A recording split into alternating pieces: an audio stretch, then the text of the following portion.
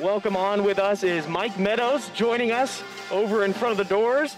Mike, uh, terrific performance. I mean, 15 points, 10 rebounds, 11 assists, the first triple double in program history.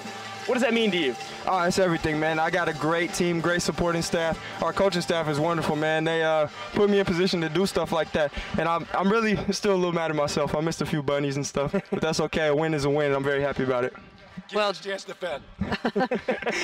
I would love to have been a fly on the wall in that locker room. What what coach say at halftime?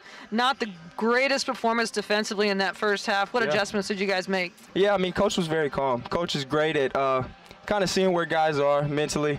And so he came in, he just talked to us. I mean, he knew, everyone knows that that's an embarrassment to play defense like that. They did make some tough shots, it's because we let them get confident. Um, we'll be better next time out for sure.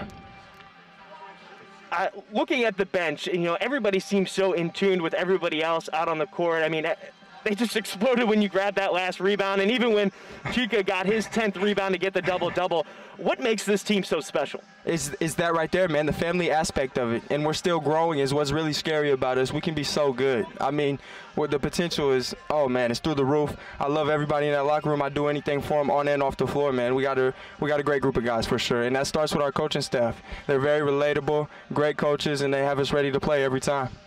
Well, I tell you, I mean, that's something that we talked about in all the interviews, and, and it's displayed on the floor. And, you know, the other night you guys had a tough loss against Arizona State.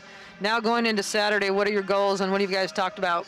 Yeah, I mean, it's just getting better. We're worried about ourselves right now in this preseason, and um, locking in and being prepared every game and really trying to own in on the scouting report and uh, know who we're going up against. I mean, every every night is a tough game. It's not easy to win games in Division One college basketball, and we know that, and we're ready for whatever challenges are ahead. I'm excited. Well, Mike, thank you for your time. A terrific performance again, the triple double, and best of luck the rest of the season. Thank you so much. I appreciate you guys. Thank you.